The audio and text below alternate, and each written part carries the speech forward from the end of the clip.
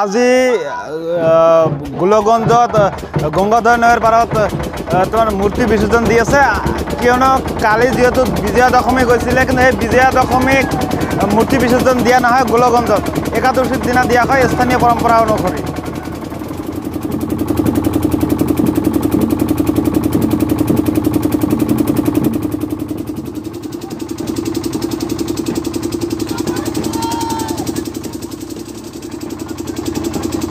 সিধা ৰাখে সিধা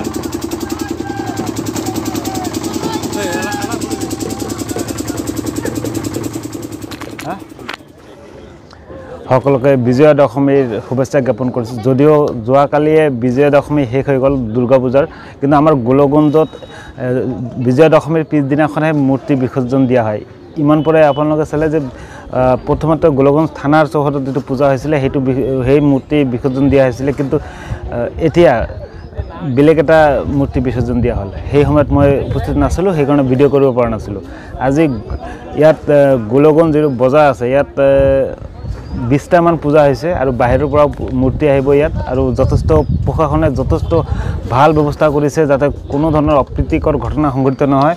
আৰু ইতিমধ্যে N D R F S D R F তাৰপিছত অগ্নি নিৰ্বাপক বাহিনীৰ ব্যক্তিসকল আহি উপস্থিত হৈছে। চাই থাকিব আৰু এই ভিডিঅ' ভাল লাগিলে মোৰ YouTube channel Times of Dhubri subscribe কৰিব। ধন্যবাদ।